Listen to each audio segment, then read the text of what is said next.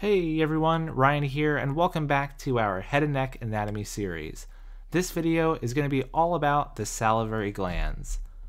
We're going to start with some basic salivary gland anatomy.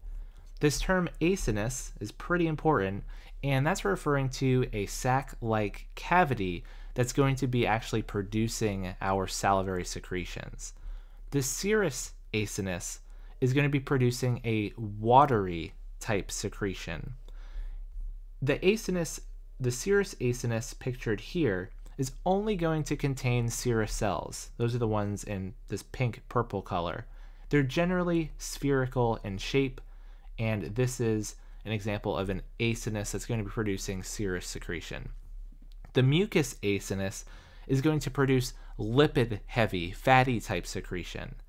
This one's going to contain only mucus cells, pictured in white here, and those cells are generally more tubular in shape, not as much spherical. But we also have a mixed acinus. This uh, contains a combination of both serous and mucus cells. And when you combine the two of them, the mucus cells kind of swell and push the serous cells into a cap at the end of the tube, into this half moon shape. And so that's how it earned its name Serous demilune, meaning a half moon.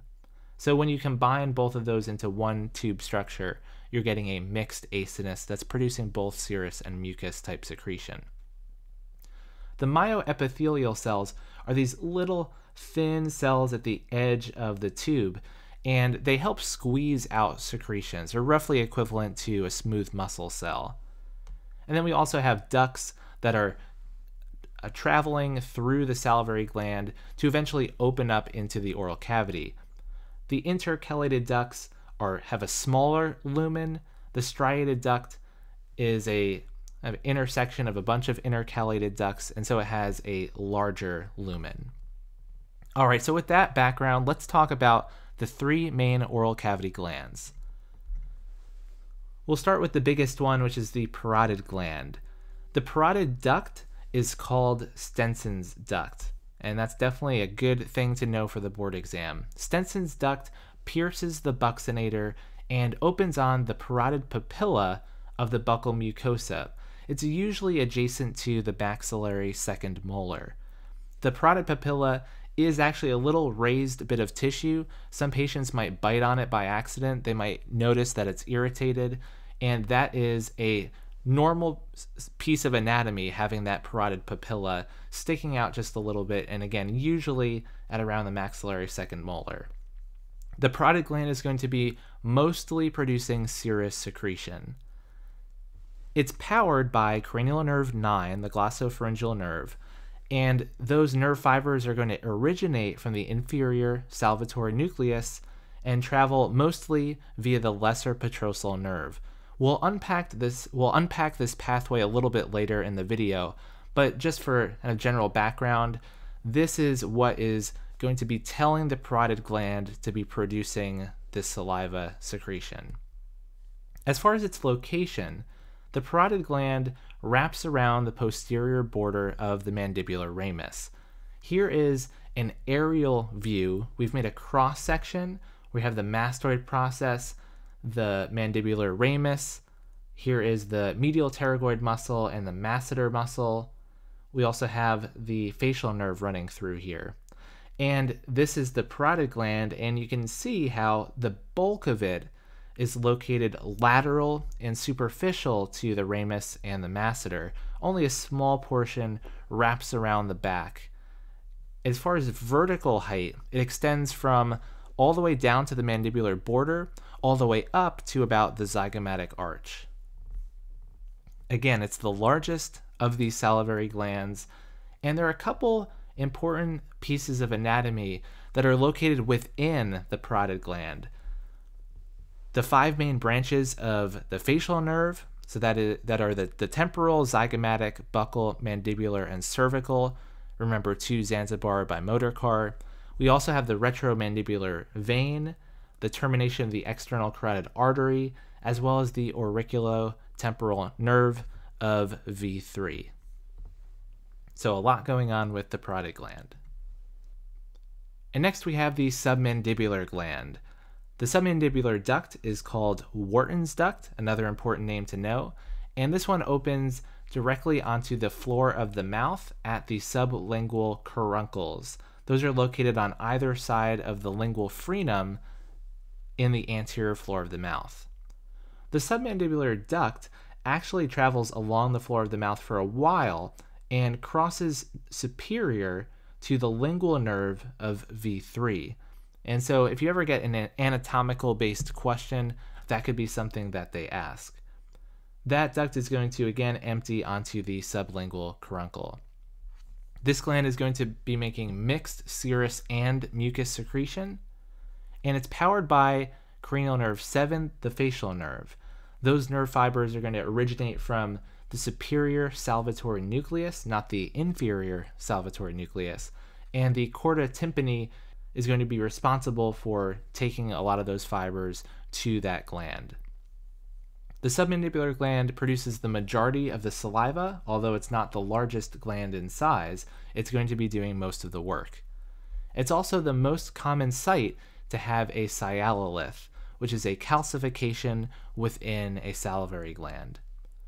As far as its location, this one's going to wrap around the posterior border of the mylohyoid muscle. The bulk of this gland is below that muscle, and only a small portion wraps around the back and sticks out above the mylohyoid muscle. So technically, it's occupying both the sublingual space, which is up here, and the submandibular space, which is down below the mylohyoid. And lastly, we have the smallest of these three, the sublingual gland.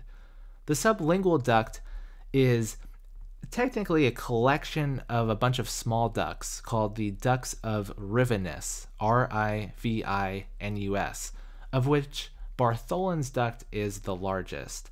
This one's going to open directly onto the floor of the mouth and at the sublingual caruncles. It's going to be producing mostly mucus secretion, and just like the submandibular gland, it's powered by cranial nerve 7 and the similar nerve pathway. This one is located purely above the mylohyoid muscle at the anterior floor of the mouth. So I really like this table that I put together for understanding all of the different high yield facts that have to do with the autonomic nervous system pathways for salivary gland secretion. And I also threw in things like pupil constriction just for fun and for comprehensiveness.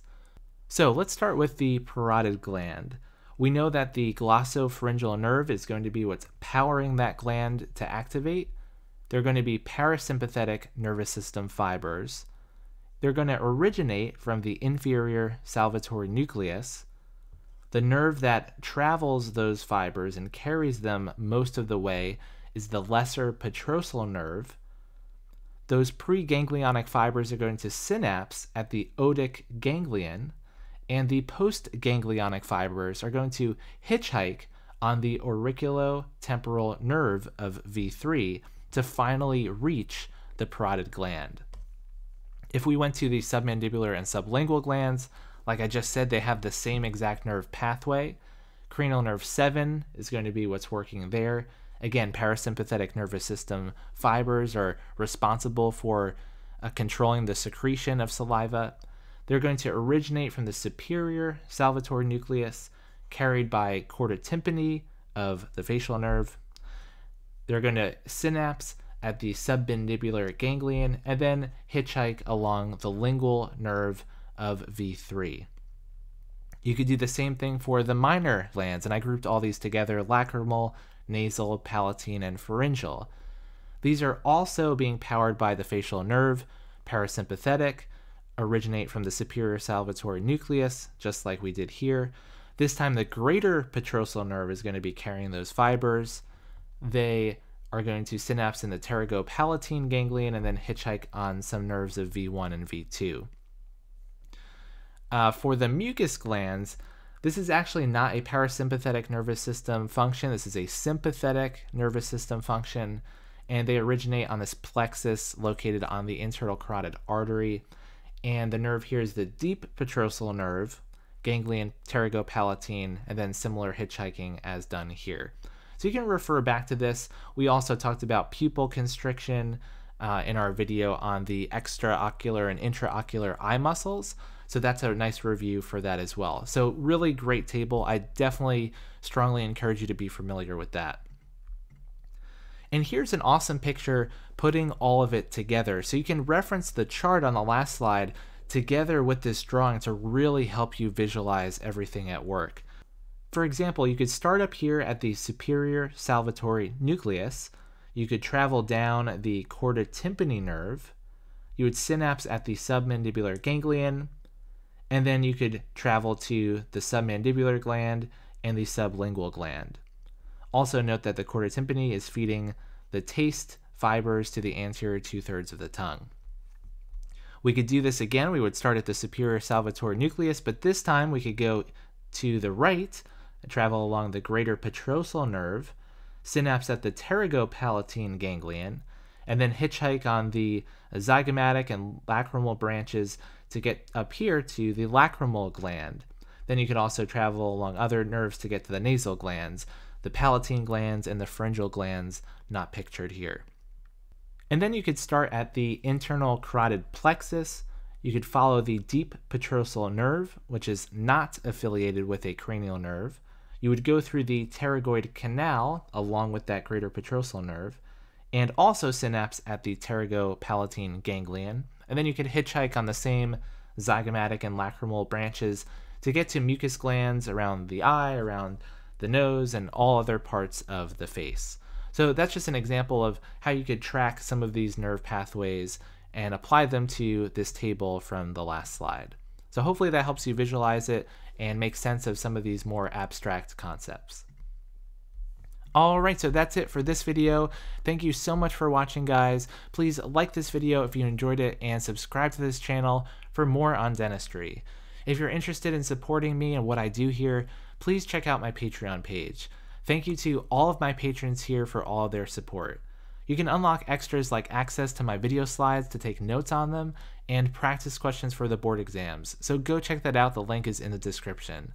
Thanks again for watching everyone, I'll see you in the next video.